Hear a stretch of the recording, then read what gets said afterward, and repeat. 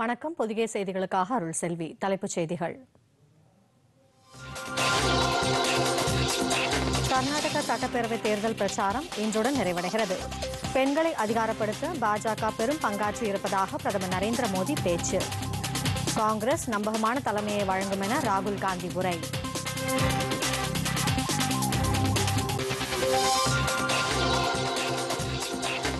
இளைஞர் திறன் மேம்பாட்டிற்கான பிரதமரின் தொழில் பழகுனர் மேளா. நாடு முழுவதும் இருநூறு மாவட்டங்களில் நடைபெறுகிறது.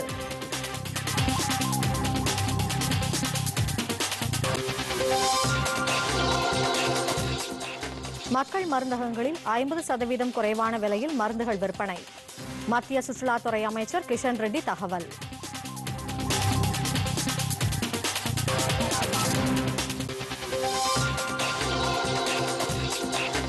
தமிழகத்தில் பிளஸ் டூ தேர்வு முடிவுகள் வெளியீடு. தொன்னூற்று நான்கு புள்ளி மூன்று சதவீதம் பேர் தேர்ச்சி. தேர்ச்சி சதவீதத்தில் விருதுநகர் மாவட்டம் முதலிடம்.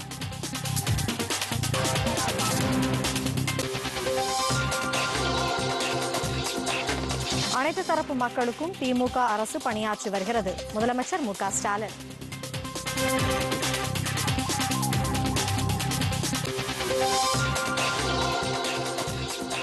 வங்கக்கடலில் இன்று உருவாகிறது குறைந்த காற்றழுத்த தாழ்வு பகுதி. இந்திய வானிலை ஆய்வு மையம் தகவல்.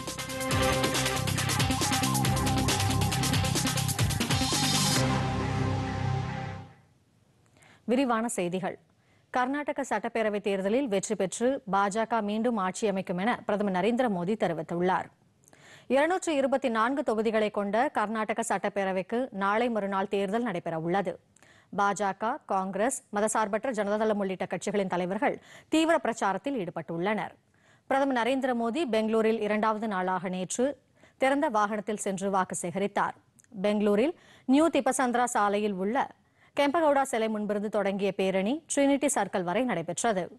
சாலையின் இருமருங்கிலும் திரண்ட பொதுமக்களும் பாஜக தொண்டர்களும் பிரதமர் வாகனத்தின் மீது மலர் தூவி உற்சாக வரவேற்பு அளித்தனர். இந்த பிரச்சாரத்தில் அங்குள்ள ஐந்து சட்டப்பேரவை தொகுதிகளில் பிரதமர் வாக்கு சேகரித்தார்.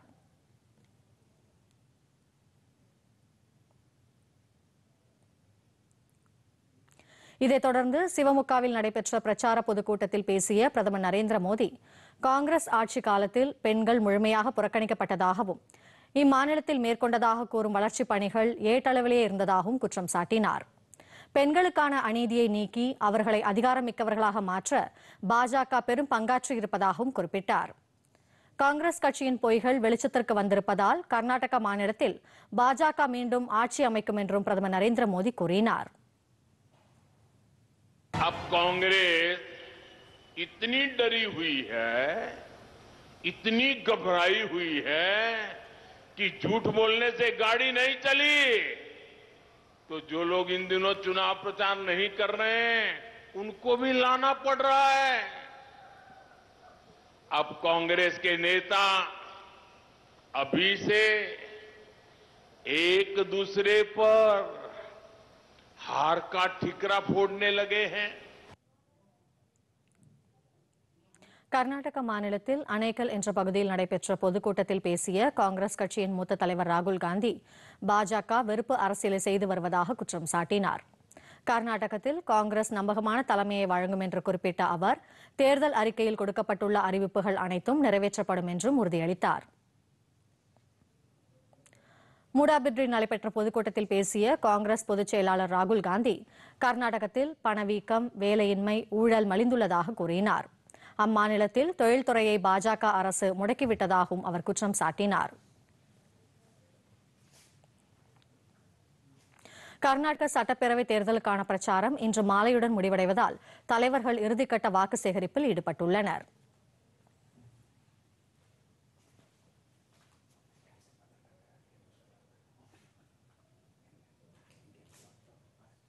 கர்நாடக சட்டமன்ற தேர்தல் பிரச்சாரம் நிறைவடையும் நிலையில் இன்று மாலை ஆறு மணி முதல் அடுத்த நாற்பத்தி எட்டு மணி நேரத்தில் அரசியல் கட்சிகள் தேர்தல் சார்ந்த விளம்பரங்களை வெளியிட தேர்தல் ஆணையம் தடை விதித்துள்ளது. மக்கள் பிரதிநிதித்துவ சட்டத்தின்படி தொலைக்காட்சி வானொலி பத்திரிகைகள் மற்றும் இணையதள பத்திரிகைகள் உள்ளிட்ட ஊடகங்களில் வாக்காளர்களை கவரும் வகையிலான விளம்பரங்களை அரசியல் கட்சிகள் வெளியிடக்கூடாது என்று தெரிவிக்கப்பட்டுள்ளது.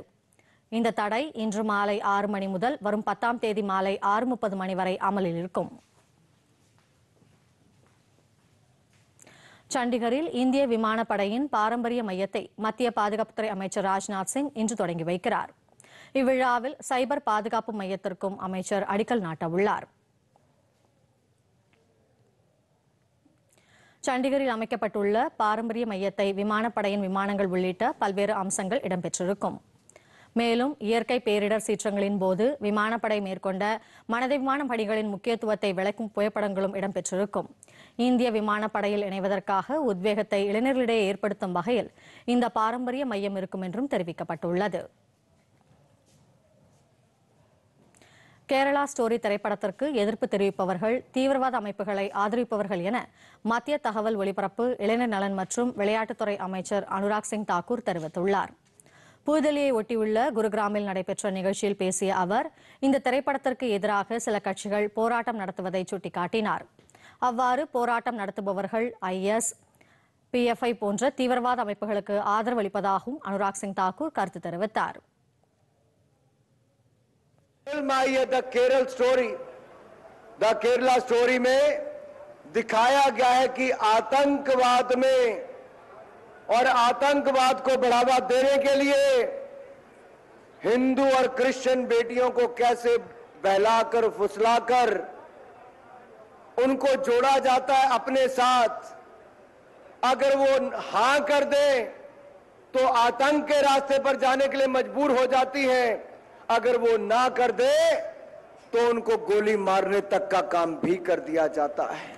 कुछ राजनीतिक दल ऐसे हैं वो इस फिल्म का विरोध करते हैं अगर वो इस फिल्म का विरोध करते हैं तो कहीं ना कहीं पीएफआई का समर्थन करते हैं आतंकवादियों का समर्थन करते हैं आईएसआईएस का समर्थन करते हैं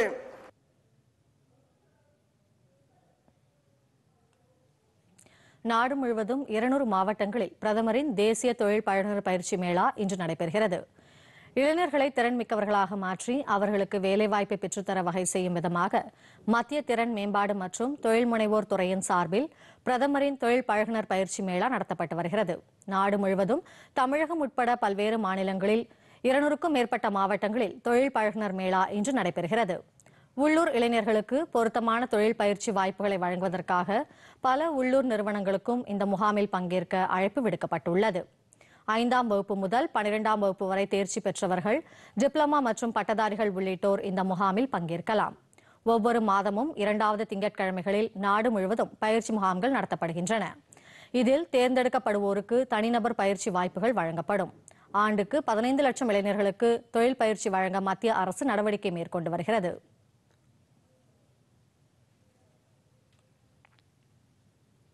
மணிப்பூர் மாநிலத்தில் இயல்பு நிலை திரும்பி வருவதால் ஊரடங்கு நேரம் படிப்படியாக குறைக்கப்பட்டு வருகிறது. மணிப்பூரில் மேய்ச்சி சமூகத்தினருக்கு பழங்குடியினர் அந்தஸ்து வழங்க கோரி நடைபெறும் போராட்டம் வன்முறையாக மாறியுள்ளது. நிலைமையை கட்டுப்படுத்த ராணுவம் மற்றும் துணை ராணுவ படையினர் குவிக்கப்பட்டுள்ளனர். இதன் மூலம் சட்டம் ஒழுங்கு தற்போது படிப்படியாக மேம்பட்டு வருகிறது.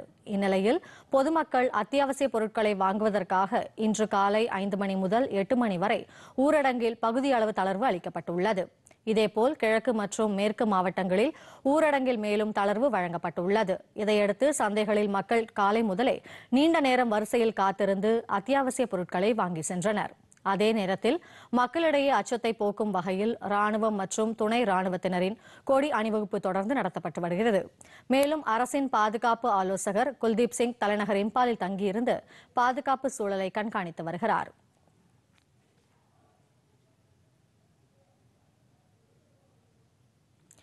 நாடு முழுவதிலும் உள்ள மக்கள் மருந்தகங்களில் ஐம்பது சதவீதம் குறைவான விலையில் மருந்துகள் விற்பனை செய்யப்படுவதாக மத்திய சுற்றுலாத்துறை அமைச்சர் கிஷன் ரெட்டி தெரிவித்துள்ளார். தெலுங்கானா மாநிலம் செகந்திராபாத்தில் மலிவு மக்கள் மருந்தகத்தை அமைச்சர் தொடங்கி வைத்தார். விழாவில் பேசிய அவர் பாமர மக்களுக்கும் குறைவான விலையில் தரமான மருந்துகள் சென்றடைவதை உறுதி செய்வதற்காக மத்திய அரசு சார்பில் மக்கள் மருந்தகங்கள் அமைக்கப்பட்டு வருவதாக கூறினார்.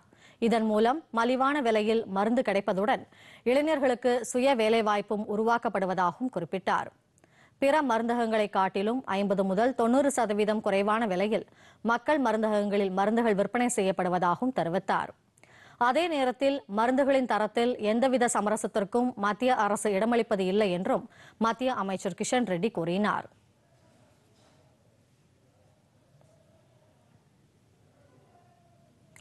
தொழில்நுட்பத்தை மையமாக கொண்ட நீரிழிவு நோய்க்கான சிகிச்சையை வழிநடத்த இந்தியா தயாராக இருப்பதாக மத்திய அறிவியல் தொழில்நுட்பத்துறை இணையமைச்சர் ஜிதேந்தர் சிங் தெரிவித்துள்ளார்.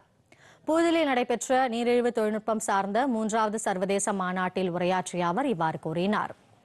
கொரோனாவை வெற்றிகரமாக கையாண்டதில் இந்தியாவின் சுகாதாரத்துறை மீது பிற நாடுகளின் எதிர்பார்ப்பு அதிகரித்திருப்பதாக குறிப்பிட்ட அமைச்சர் அறிவியல் மற்றும் தொழில்நுட்ப கண்டுபிடிப்புகளை தனிப்பட்ட முறையில் ஊக்குவிப்பதற்கு பிரதமர் மோடி தலைமையிலான மத்திய அரசு அதிக கவனம் செலுத்தி வருவதாகவும் தெரிவித்தார்.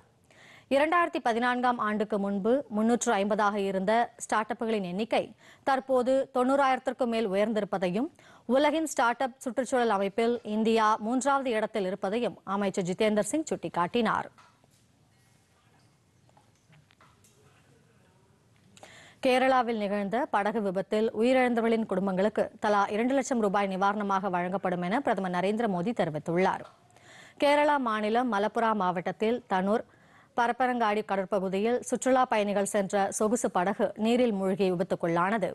இதில் குழந்தைகள் பெண்கள் உட்பட இருபத்தி இரண்டு பேர் உயிரிழந்தனர். நீரில் தத்தளித்துக் கொண்டிருந்த பதினோரு பேர் மீட்கப்பட்டு மருத்துவமனையில் அனுமதிக்கப்பட்டுள்ளனர்.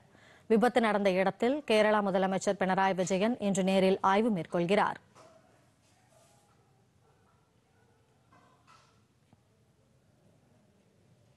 இந்த படகு விபத்து சம்பவம் குறித்து குடியரசுத் தலைவர் திரௌபதி முர்மு வெளியிட்டுள்ள இரங்கல் செய்தியில் உயிரிழந்தவர்களின் குடும்பத்தினருக்கு ஆழ்ந்த இரங்கலை தெரிவித்துள்ளார். குடியரசு துணைத் தலைவர் ஜெகதீப் தன்கர் வெளியிட்டுள்ள இரங்கல் செய்தியில் கேரள படகு விபத்து மிகுந்த அதிர்ச்சி அளிப்பதாக தெரிவித்துள்ளார். காயமடைந்தவர்கள் விரைவில் குணமடைய பிரார்த்திப்பதாகவும் கூறியுள்ளார். பிரதமர் நரேந்திர மோடி வெளியிட்டுள்ள டுவிட்டர் பதிவில் உயிரிழந்தவர்களின் குடும்பத்தினருக்கு ஆழ்ந்த இரங்கலை தெரிவித்துள்ளார். மேலும் உயிரிழந்தவர்களின் குடும்பங்களுக்கு பிரதமரின் தேசிய நிவாரண நிதியிலிருந்து தலா இரண்டு லட்சம் ரூபாய் நிதியுதவி வழங்கப்படும் என அறிவித்துள்ளார்.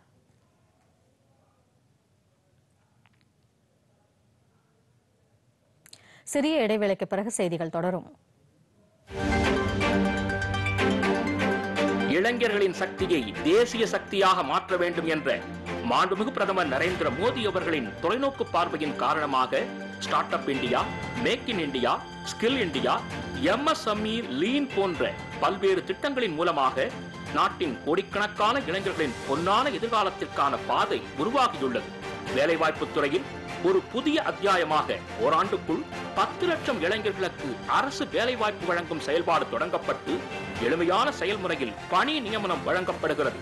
வேலைவாய்ப்பு முகாம்களில் இளைஞர்களுக்கான வேலைவாய்ப்பு ரயில்வே துறை வங்கித்துறை அஞ்சல் துறை பாதுகாப்புத்துறை உயர்கல்வி உள்துறை சுகாதாரத்துறை போன்ற துறைகளில் இதன் மூலம் இரண்டாயிரத்தி இருபத்தி நான்கு இருபத்தைந்துக்குள் ஐந்து டிரில்லியன் பொருளாதாரம் என்ற இலக்கை நோக்கி இந்தியா விரைவாக முன்னேறி செல்கிறது. எனவே இளைஞர்களே வேலைவாய்ப்பு முகாம்களில் பங்கு கொண்டு பயன் பெறுங்கள்.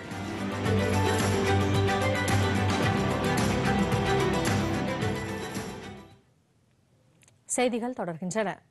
தமிழகத்தில் பிளஸ் டூ பொதுத் தேர்வு முடிவுகள் இன்று வெளியிடப்பட்டன. இதில் தொன்னூற்று நான்கு புள்ளி மூன்று சதவீதம் மாணவ மாணவிகள் தேர்ச்சி அடைந்துள்ளனர். விருதுநகர் மாவட்டம் மாநிலத்திலேயே தொன்னூற்றி ஏழு புள்ளி எட்டு ஐந்து சதவீத தேர்ச்சியுடன் மாநிலத்திலேயே முதலிடம் பிடித்துள்ளது. பிளஸ் டூ பொதுத் தேர்வு கடந்த மார்ச் பதிமூன்றாம் தேதி முதல் ஏப்ரல் மூன்றாம் தேதி வரை நடைபெற்றன. மாநிலம் முழுவதும் மூன்றாயிரத்து முன்னூற்று இருபத்தி நான்கு மையங்களில் நடைபெற்ற இத்தேர்வை எட்டு லட்சத்து பதினேழாயிரம் மாணவர்கள் எழுதினர்.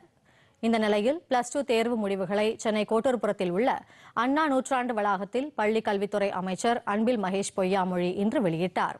இதில் தொன்னூற்று நான்கு புள்ளி மூன்று சதவீதம் மாணவ மாணவிகள் தேர்ச்சி அடைந்துள்ளதாக அமைச்சர் தெரிவித்தார். மாணவர்களில் தொன்னூற்றோரு புள்ளி நான்கு ஐந்து சதவீதம் பேரும் மாணவியரில் தொன்னூற்று ஆறு புள்ளி மூன்று எட்டு சதவீதம் பேரும் தேர்ச்சி அடைந்துள்ளதாகவும் அமைச்சர் கூறினார்.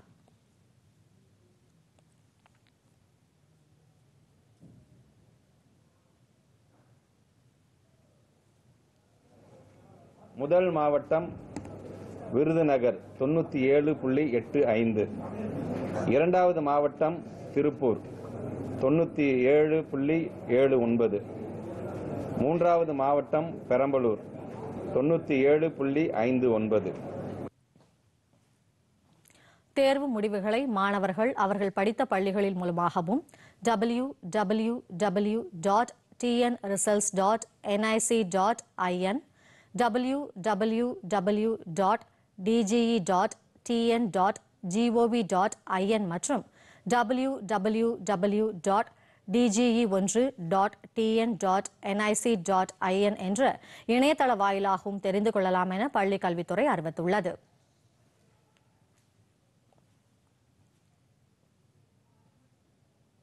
திமுக அரசு அனைத்து தரப்பினரின் முன்னேற்றத்திற்காகவும் பணியாற்றி வருவதாக முதலமைச்சர் மு க ஸ்டாலின் தெரிவித்துள்ளார். திமுக அரசு மூன்றாம் ஆண்டில் அடியெடுத்து வைத்திருப்பதை ஒட்டி சென்னை பல்லாவரத்தில் பொதுக்கூட்டத்திற்கு ஏற்பாடு செய்யப்பட்டிருந்தது. இதில் பேசிய முதலமைச்சர் திமுக அரசு அனைத்து தரப்பினரின் முன்னேற்றத்திற்காகவும் நலனுக்காகவும் தொடர்ந்து பாடுபட்டு வருவதாக கூறினார்.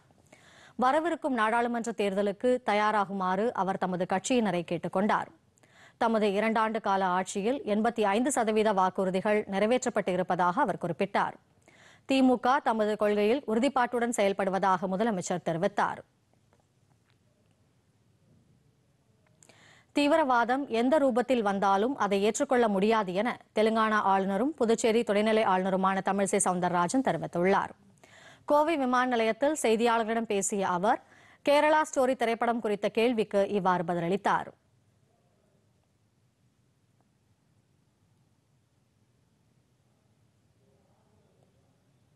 மரியாதைக்குரிய பாரத பிரதமர் சொன்னதை போல தீவிரவாதம் எந்த வகையில் எந்த இடத்தில் எந்த ரூபத்தில் வந்தாலும் அது ஒத்துக்கொள்ள முடியாத ஒன்று. அது மட்டுமல்ல பெண்களையும் இளைஞர்களையும் பாதிக்கும் வகையில் இருந்தால் அதன் உண்மைத்தன்மை தெரிந்திருக்க வேண்டும். இதை பற்றி தீவிரவாதத்தை பற்றி கேரளாவில் சட்டமன்றத்திலேயே பேசப்பட்டிருக்கிறது இந்த பிரச்சனையை. தமிழக அரசின் இரண்டாண்டு சாதனை குறித்த கேள்விக்கு அறிவிப்பு வருகிறதோ இல்லையோ அறிவிப்புகளை திரும்பப் பெறும் ஆட்சியே தமிழகத்தில் நடந்து கொண்டிருக்கிறது என்று கூறினார். கோவையிலிருந்து கனிம வளம் சுரண்டப்படுவது குறித்த கேள்விக்கு தமிழகத்தில் கனிம வள கொள்ளை என்பது தடுத்து நிறுத்தப்பட வேண்டியது என தமிழிசை சவுந்தரராஜன் தெரிவித்தார். தொடர்வது உலகச் செய்திகள்.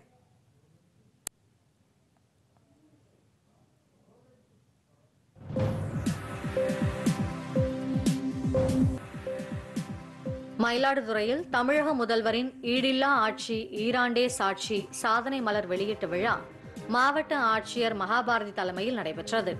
இந்த நிகழ்ச்சியில் சுற்றுச்சூழல் துறை அமைச்சர் மெய்யநாதன் கலந்து கொண்டு பல்வேறு துறைகளின் சார்பில் ஆறு புள்ளி நாற்பத்தோரு கோடி ரூபாய் மதிப்பில் முன்னூற்று எண்பத்தி இரண்டு பயனாளிகளுக்கு நலத்திட்ட உதவிகளை வழங்கினார். பின்னர் செய்தியாளர்களிடம் பேசிய அமைச்சர் கட்டுமான பணிகளுக்கு மணல் தட்டுப்பாட்டை போக்க இருபத்தி ஐந்து இடங்களில் புதிதாக மணல் குவாரிகள் திறப்பதற்கு அரசு அனுமதி அளித்துள்ளது என்று கூறினார்.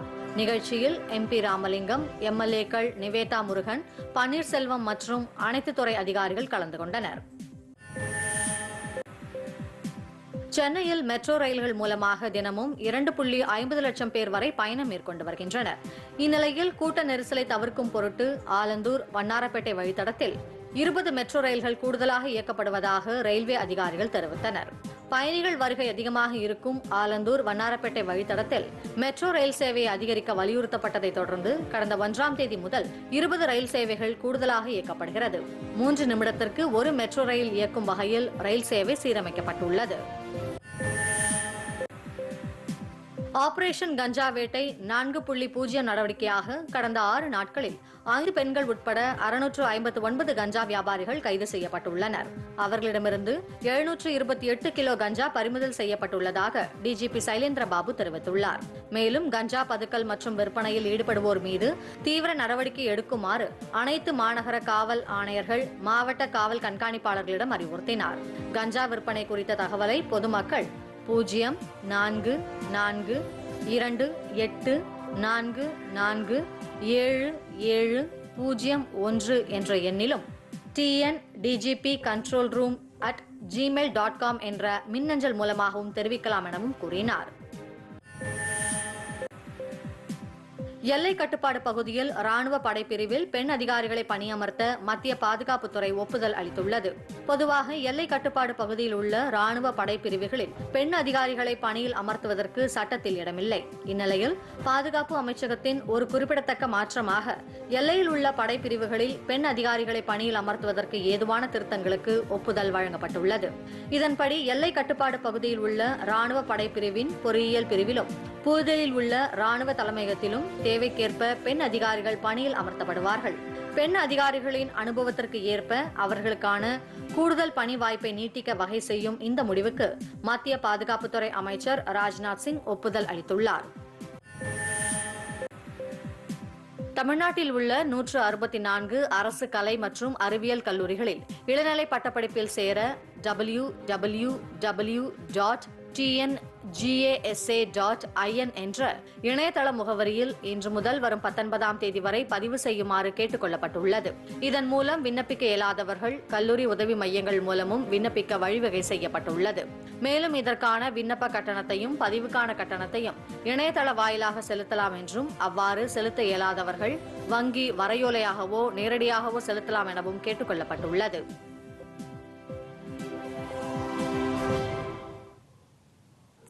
விரைவு செய்திகளை பார்த்தோம். இனி உலக செய்திகளில் சிலவற்றை பார்க்கலாம்.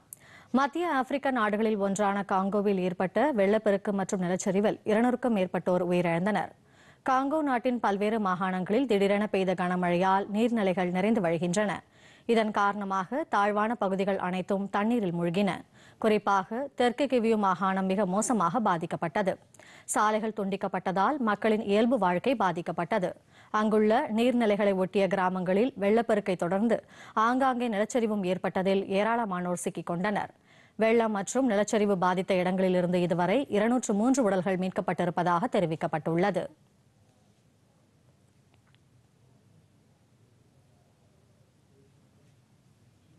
பெரு நாட்டில் தங்கச் சுரங்கத்தில் ஏற்பட்ட தீ விபத்தில் இருபத்தி ஏழு பேர் உயிரிழந்தனர். அந்நாட்டின் தெற்கே உள்ள அரிகுபா என்னும் இடத்தில் அமைந்துள்ள தங்கச் சுரங்கத்தில் எண்பது மீட்டர் ஆழத்தில் தொழிலாளர்கள் பணியாற்றிக் கொண்டிருந்த போது இந்த விபத்து நேரிட்டது. மின் கசிவு காரணமாக விபத்து ஏற்பட்டதாக மாவட்ட நிர்வாகம் வெளியிட்டுள்ள செய்தியில் தெரிவிக்கப்பட்டுள்ளது. கடந்த பத்து ஆண்டுகளில் பெருவில் நிகழ்ந்த சோகமான சுரங்க விபத்து இது என்றும் கூறப்பட்டுள்ளது. ஆண்டுக்கு நூறு டன் தங்கத்தை உற்பத்தி செய்யும் உலகின் மிகப்பெரிய நாடாக பெரு திகழ்வது குறிப்பிடத்தக்கது. அமெரிக்காவில் வணிக வளாகத்தில் நடத்தப்பட்ட துப்பாக்கிச் சூட்டில் ஒன்பது பேர் உயிரிழந்தனர். டெக்சாஸ் மாகாணத்தில் உள்ள டலாஸ் நகரின் வடக்கு பகுதியில் உள்ள வணிக வளாகத்தில் பொதுமக்கள் ஏராளமானோர் திரண்டிருந்தனர்.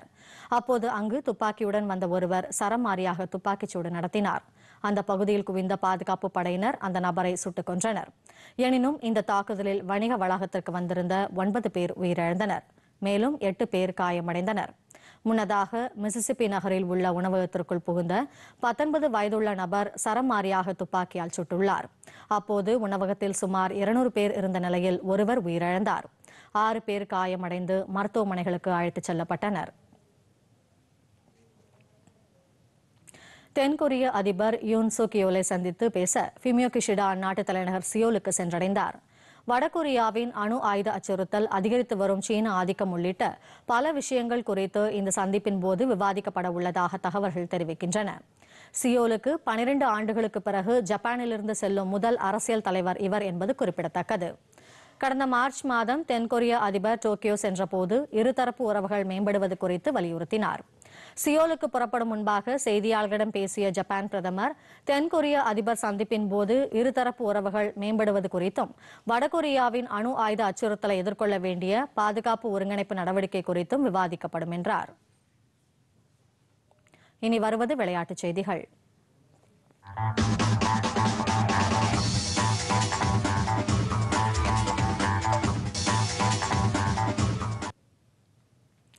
ஐபிஎல் கிரிக்கெட் தொடரில் நேற்று நடைபெற்ற போட்டிகளில் குஜராத் மற்றும் ஹைதராபாத் அணிகள் வெற்றி பெற்றன. அகமதாபாத்தில் நடைபெற்ற முதல் போட்டியில் முதலில் விளையாடிய குஜராத் அணி நிர்ணயிக்கப்பட்ட இருபது ஓவரில் இரண்டு விக்கெட் இழப்பிற்கு இருநூற்று இருபத்தி ஏழு ரன் எடுத்தது. அதிகபட்சமாக சுப்மன் கில் தொன்னூற்று நான்கு ரன்னும் ருதிமான் சஹா எண்பத்தோரு ரன்னும் குவித்தனர்.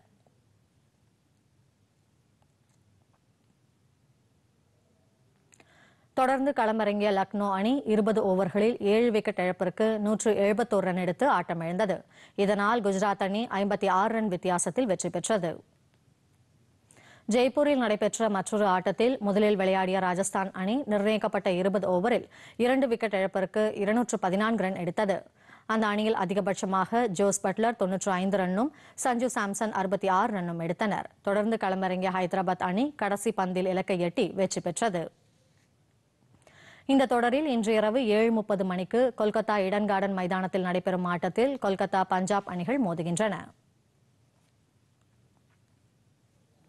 மேட்ரிட் ஓபன் டென்னிஸ் தொடரில் ஸ்பெயின் வீரர் கார்லோஸ் அல்காரஸ் ஆடவர் ஒற்றையர் பிரிவு சாம்பியன் பட்டத்தை வென்றார். ஸ்பெயின் தலைநகர் மேட்ரிட்டில் நடைபெற்ற இந்த தொடரின் ஆடவர் ஒற்றையர் பிரிவு இறுதி ஆட்டத்தில் கார்லோஸ் அல்காரஸ் ஜெர்மனி வீரர் ஜான் லெனடை ஆறுக்கு நான்கு மூன்றுக்கு ஆறு ஆறுக்கு மூன்று என்ற செட் கணக்கில் வீழ்த்தினார்.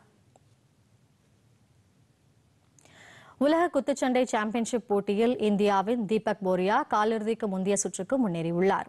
உஸ்பெகிஸ்தானின் தாஷ்கண்டில் கடந்த மாதம் முப்பதாம் தேதி தொடங்கி இம்மாதம் பதினான்காம் தேதி வரை இந்த போட்டிகள் நடைபெற்று வருகின்றன.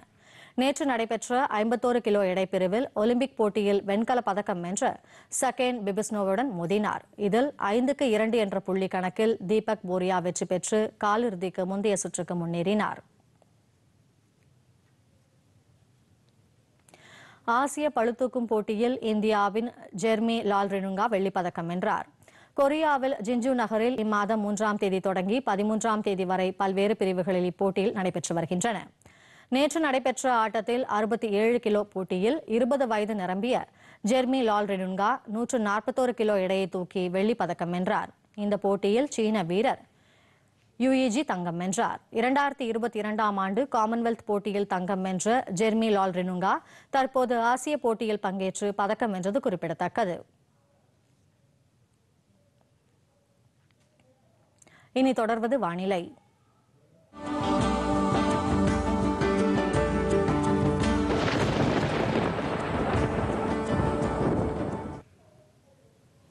தென்கிழக்கு வங்கக்கடலில் உருவாகியுள்ள புயல் சின்னம் இன்று குறைந்த காற்றழுத்த தாழ்வு பகுதியாக மாற வாய்ப்புள்ளதாக இந்திய வானிலை ஆய்வு மையம் தெரிவித்துள்ளது. இதுகுறித்து இந்திய வானிலை மையம் வெளியிட்டுள்ள செய்திக்குறிப்பில் புயல் சின்னம் காரணமாக அந்தமான் நிக்கோபார் தீவுகளை ஒட்டிய பகுதிகளில் கனமழை முதல் மிக கனமழை பெய்ய வாய்ப்புள்ளதாக எச்சரிக்கை விடுக்கப்பட்டுள்ளது. குறிப்பாக தமிழ்நாடு ஆந்திரா ஒடிசா மேற்கு வங்கம் ஆகிய மாநிலங்களில் மிக கனமழை பெய்ய வாய்ப்பிருப்பதாகவும் குறிப்பிட்டுள்ளது. தென்கிழக்கு வங்கக்கடல் பகுதியில் மணிக்கு நாற்பது முதல் ஐம்பது கிலோமீட்டர் வேகத்தில் காற்று வீசக்கூடும் என்பதால் வரும் பதினொன்றாம் தேதி வரை மீனவர்கள் கடலுக்கு செல்ல வேண்டாம் என்று அறிவுறுத்தப்பட்டுள்ளது.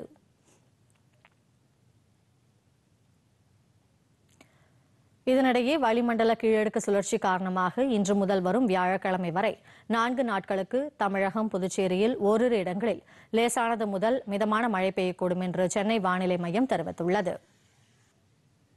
இந்நிலையில் கள்ளக்குறிச்சி மாவட்டத்தில் சின்ன சேலத்தை சுற்றியுள்ள நயினார்பாளையம் மாமந்தூர் கிருஷ்ணாபுரம் உள்ளிட்ட கிராமங்களில் குளிர்காற்றுடன் கூடிய கனமழை பெய்து வருகிறது. ஏரி குளங்களில் மழைநீர் நிரம்பி வருகிறது. சாலைகளில் மழைநீர் வெள்ளப்பெருக்கெடுத்து ஓடுகிறது.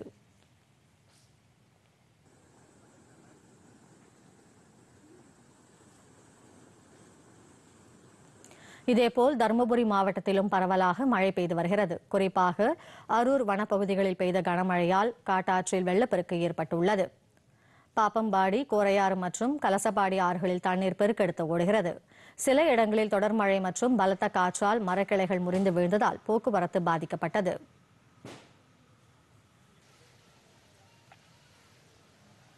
கிருஷ்ணகிரியில் தொடர் கனமழை பெய்து வருவதால் மாவட்டத்தின் பல்வேறு பகுதிகளில் வெள்ளப்பெருக்கு ஏற்பட்டுள்ளது.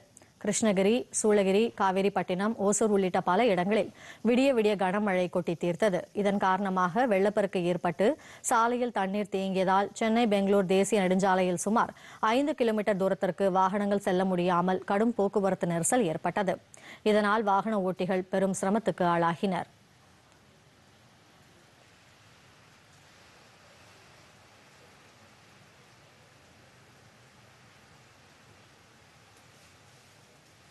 மீண்டும் தலைப்புச் செய்திகள். கர்நாடக சட்டப்பேரவை தேர்தல் பிரச்சாரம் இன்றுடன் நிறைவடைகிறது. பெண்களை அதிகாரப்படுத்த பாஜக பெரும் பங்காற்றி இருப்பதாக பிரதமர் நரேந்திர மோடி பேச்சு. காங்கிரஸ் நம்பகமான தலைமையை வழங்கும் என ராகுல் காந்தி உரை.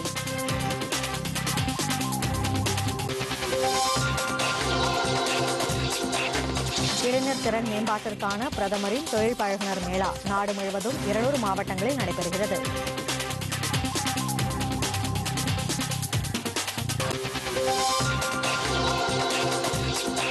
மக்கள் மருந்தகங்களில் ஐம்பது சதவீதம் குறைவான விலையில் மருந்துகள் விற்பனை. மத்திய சுற்றுலாத்துறை அமைச்சர் கிஷன் ரெட்டி தகவல்.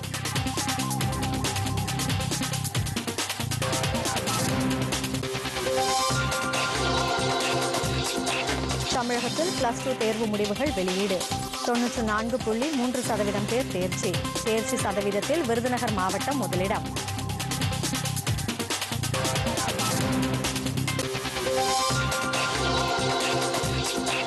அனைத்து தரப்பு மக்களுக்கும் திமுக அரசு பணியாற்றி வருகிறது. முதலமைச்சர் மு ஸ்டாலின்.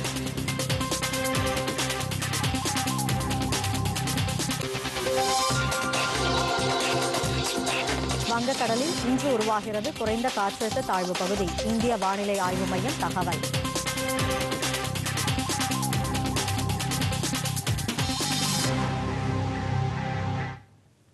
இத்துடன் செய்திகள் நிறைவடைந்தன. மீண்டும் செய்திகள் பிற்பகல் இரண்டு மணிக்கு. வணக்கம்.